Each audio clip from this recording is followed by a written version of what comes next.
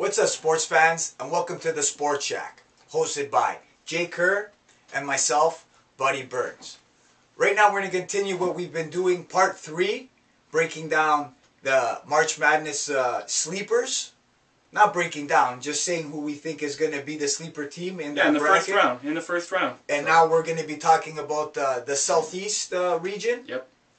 Now, This is Pittsburgh's region, so yeah. Just want to throw that out there. Fucking man. Okay, but you keep on throwing Pittsburgh. You know what my team is for real? What? The Blue Devils. I know I'm wearing green. I'm not supporting them, which I should, right? yeah. You think Duke's gonna win back to back? I don't know. It, it could happen. I I wouldn't say uh, I would love for them to win back to back, but they're gonna go. They're gonna go far in this tourney, and I'm banking on that. I don't care what the spread is.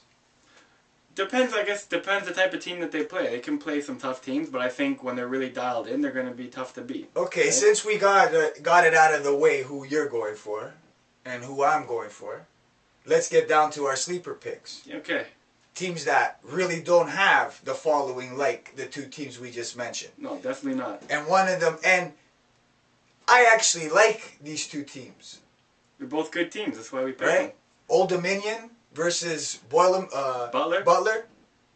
Uh, the Monarchs coming out of Colonial Athletic Association. I mean, Uh, like to me, again, this is like uh, this is the best game in this conference. I mean, in this region because it's uh, it's eight and uh, nine seed going head to Butler, the. Cinderella story from last year. Will they be knocked out in the first round this year? I mean, we're all Well, see. even even Old Dominion um, made a made a pretty crazy run last year. They're a good team. Um, you know, they're tough defensively, but They ran into uh, to a little wall. well, And, I like- uh, you like your team. I like my team. You know. Yeah. Well, uh, another uh, sleeper in the the eastern, I mean the the southeast uh, region, is uh, the Gonzaga versus the St. John's uh, game. Think uh, you know St. John's. Everybody jumped on that bandwagon. Thought St. John's was gonna be you know like really good. I think they just started playing really good. This is still a team that, like I said earlier when we talked about top twenty-five teams, still a team rebuilding. They're not there yet, but they got a lot of talent in place, and they're gonna get some more guys coming in next year. And the guys Well, that they have they- now are gonna be better. the they- problem is, Gonzaga's legit team.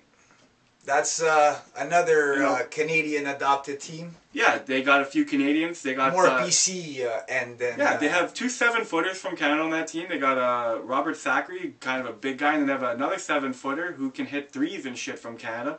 So there's a big team, lots of rebounding. You're not going to outmuscle them. They got good guards, and uh, you know what? St. John's is going to be hard pressed to, to beat them. Uh, you know, I think uh, Gonzaga Bulldogs are going to win and uh, move on to the round of 32.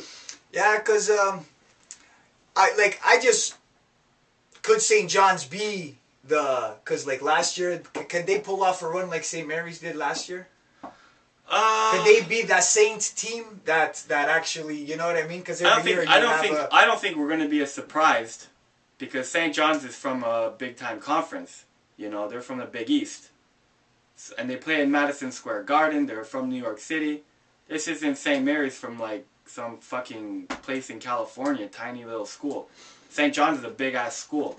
it, it's it's actually a shame that we don't have the lines, we don't have the spreads. You know what I mean? Well, I'd say St. John's is favored. I'd probably say by four points. and and if that's the case, I'm laying my money. Like you actually think? Let's just say okay, because like we're like in our other show, right? That that the the other brackets we broke down, uh, regions. Uh, we we said hypothetically speaking lines, lines? yeah. So let's I just say that that that that is the line that you said. What was it? Minus three and a half for St. John's. I'd say yeah, minus four St. John's. Okay. Uh, Butler Old Dominion. no, fucking Gonzaga, like that's money. If you pick Gonzaga on money line on like outright to win, you think that they can cover a four point spread, Yeah, Gonzaga? for sure, for sure. That's what I want to hear, but because I like that team, and regardless of what you were were to say, I was gonna play this team, right? I like this team, I don't know what they'll be on pro. Canadian uh, Canadian influence. I don't know what they'll be on pro line. They'll probably be pretty good. If they're in the twos in pro line, that'd be good. Fuck Proline, and we don't mention no uh, no companies or nothing until we get a check from them. So that's the last time you heard that name. Okay, folks. Uh, that's pretty much it for that region. Well, we'll talk about one more game. I guess there's one more game we should talk about. Southeast is Wisconsin versus Belmont, and I guess this is like the one where the line is saying Belmont has the chance to upset. Belmont is a good team. They have played some good teams. They played Tennessee twice in Tennessee. Um, they've played some good teams. They're from a shitty conference, but they smashed every team. And I think I saw it was the only line that I like stuck out in my head.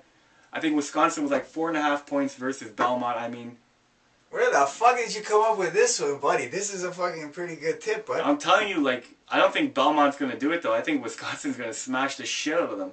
Well, that's one. Uh, You know, so I don't know. I think That's people a- are that's a hot tip, man. Yeah, people. I mean, a lot of people even watching this are going to be like, you know, Belmont, Belmont. But I'm telling you, fucking, that's not going to Hey, dude, man. Because everybody's posting up stuff, right, right and left. Yeah, Okay, you go on YouTube, you see it, right? That's where our show is, yeah. right? And also on our on our site, On our website, yeah. right? And uh, what everyone's gonna give us a little try. They're gonna see what we have to say. Basically, what you have to say, because you're all the brains behind If, this. Uh, if this Belmont wins, I'm gonna have to eat. I'm gonna have to fucking eat my words, aren't I? Like, but I don't think that's gonna bad, happen. buddy. Because what we we're not telling you guys. We're telling you what we think and what we're gonna do. We're not. If you want to do what we're saying, go ahead. You know what I mean? If Yeah, unless unless you follow all of our picks, you can't fucking because like in any game anything can happen. So like you know if you're gonna complain about one or two, that's one thing. But if if you know we take ten picks and we fucking lose eight of them, okay, Yeah. I'm gonna eat my words. Yeah, and also we're pretty much going out on a limb with in the beginning of the tournament, right? It's easier to pick when you're down to eight teams, right? It's like you got one out of eight Yeah. chances to get it right. It's another thing when we're dealing with what we got to deal with the amount of teams that we're dealing with. Wow, Well, saying that, this is why people watch us, right? yeah, exactly. That's why we got our fans.